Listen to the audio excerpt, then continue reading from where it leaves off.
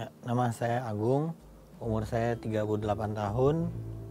Uh, saya penyintas skizofrenia.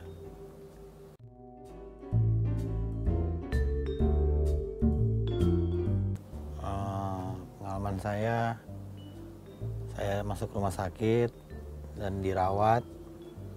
Uh, pengalaman skizofrenia juga mendengar suara-suara seperti halusinasi, terus hmm, ya halusinasi yang paling parah ya, hmm, gitu. Terus saya juga masuk rumah sakit, pindah rumah sakit, terus dikasih obat,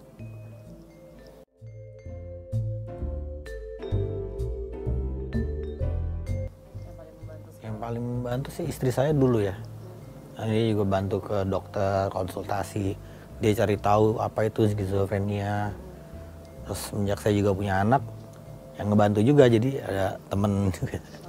Ibu saya juga bolak-balik ke rumah sakit eh, konsultasi dengan dokter.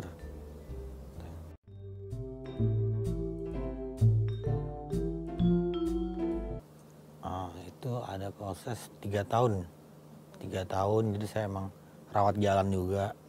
Rawat jalan terus pokoknya teratur minum obat aja deh kalau mau sembuh.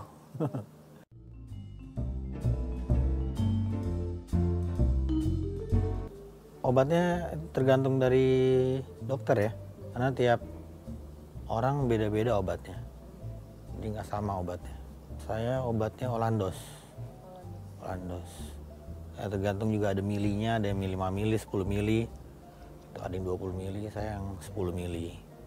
Efeknya sih lebih ke ngantuk ya. Ngantuk kayak terus ya itu aja sih yang saya rasain ngantuk. Itu tapi memang ada juga yang anti cemas juga anti cemas.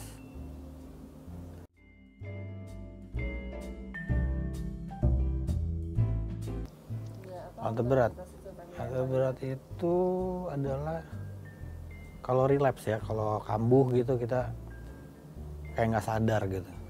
Kayak nggak sadar terus uh, cemas nggak bisa tidur gelisah gitu ya nggak bisa.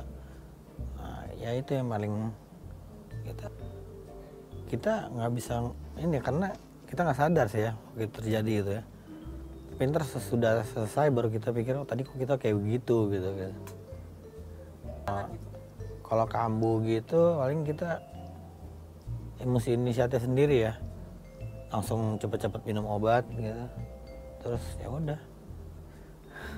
Ntar reda dengan sendirinya juga sih kadang-kadang. Berarti langsung sembuh begitu. iya. Langsung minum obat terus istirahat ya udah sembuh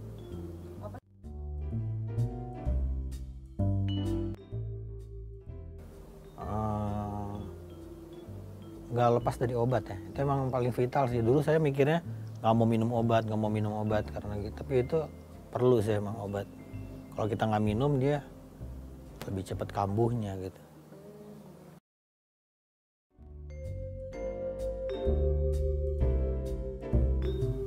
Kalau untuk caregiver sih banyak-banyak sabar ya.